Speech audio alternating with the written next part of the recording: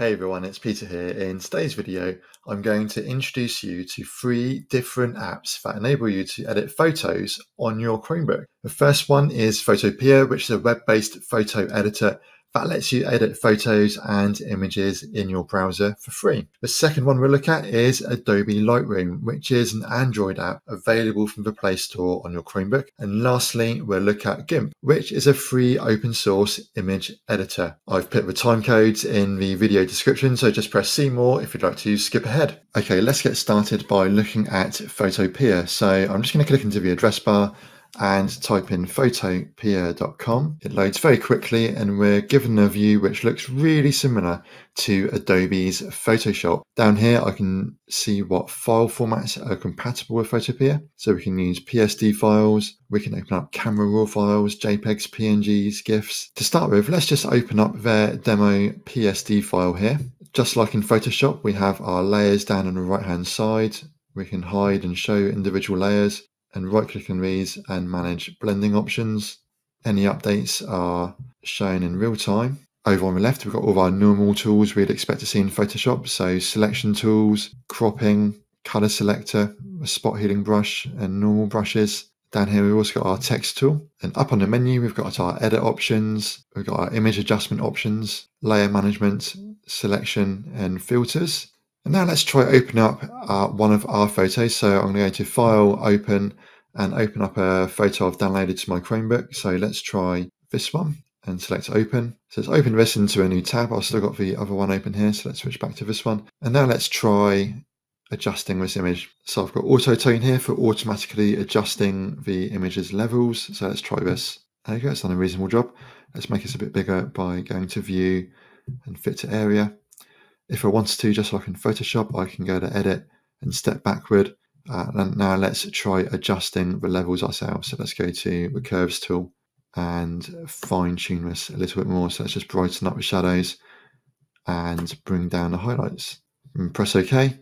And then to save what we've done, all we need to do is go to File, and we can either save this as a PSD or I can export it as a JPEG. Here I can select the quality of the JPEG Let's select maximum and hit save. And there you go, it's just downloaded it back into my downloads folder. And if I click on this, I can open it up in my Chromebook image viewer. Right, next up, let's have a look at Adobe Lightroom. So let's minimize this.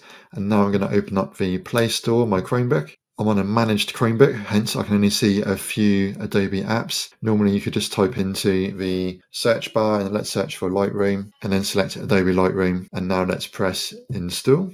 Okay, so Lightroom has downloaded and installed, so let's press open. Uh, we can skip this. And now let's sign in with our Google account. Here we go. So Lightroom is an Android app which I think works really well on a Chromebook. First of all, let's try adding in some more images into Lightroom. So we need to just allow Lightroom access to our photos, media and files on our device. So let's press allow here.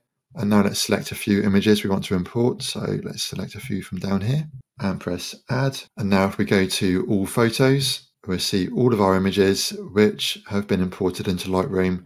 Uh, it's automatically divided up by the year they're taken in. So let's try opening up this image. This is a, a raw image. So over on the right hand side here, we've got our normal image adjustment tools. We can use these to do things like adjust our image levels and exposure and contrast. We've got color tools here for adjusting the color temperature. And then further down here, we've got effects detail to bring out more details in the photo. So we can adjust things like sharpening in here. And as we make edits, it just says here we can actually tap and hold to compare edits.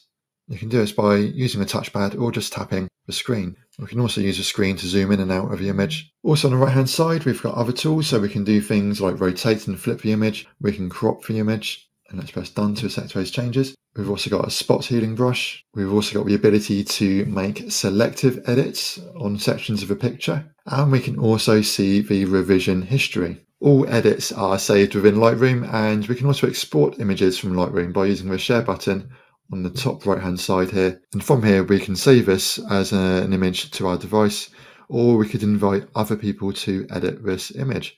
But let's just share this to our device. It's automatically selected my downloads folder. Uh, so let's just press save here and it's saved. The Adobe Lightroom Android app is a free app, But if you do happen to have an Adobe Creative Cloud subscription, you can also make use of Adobe's cloud storage to save your image edits. Let's now have a look at GIMP, which is an open source image editor. So the first thing we need to do is turn on Linux on our Chromebook, which is really easy. All we need to do is go down to the bottom right hand side here, click on the time, go to settings, which is the gear icon, and then go to the left hand side and select developers and then go up here to where it says Linux Development Environment and select Turn On. This opens up a wizard which will guide us through setting up Linux.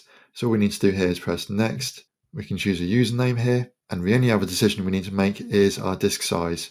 So we can either go with a recommended size of 7.5 gigabytes, or we can select a custom size. This all depends on how many Linux apps you're planning to install. But in this example, let's just leave it as a recommended 7.5 gigabytes and select install. Amazing, so we now have Linux set up on our Chromebooks.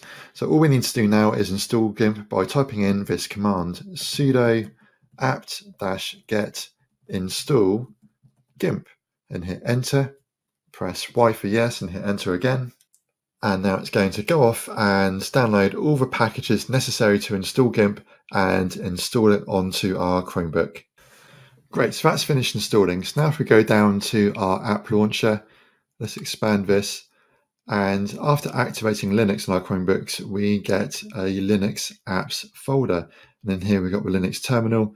And here we have GIMP, which we just installed. So let's launch this.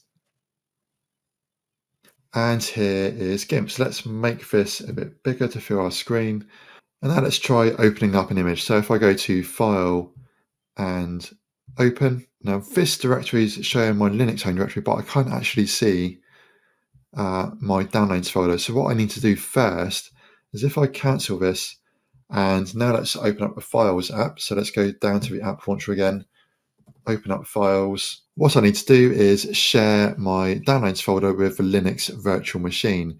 So if I right click on downloads and say share with Linux, and now if I minimize this, go back to File, and open. And unfortunately, this is a bit of a convoluted path, so we need to go into a file system, go into a mount directory, Chrome OS, and my files. And here we can see downloads. And these are our sample images downloaded earlier. So let's try opening up one of these. So this is the image we are editing earlier in Lightroom. And you can see here in GIMP, we've got many of the same tools as we had available in Photopea. We've also got a color adjustment tools um, similar to what's in Photopea and Lightroom. So here we can manage a color balance. We can do things like use the curves tool, like just like we were earlier, and adjust the levels of the image. And I'm not going to go into too much depth now because there's lots of tutorials which already exist on how to use GIMP. But GIMP really does have a lot of tools and filters to explore. And after editing your image, now let's go to File and let's save this as a new copy.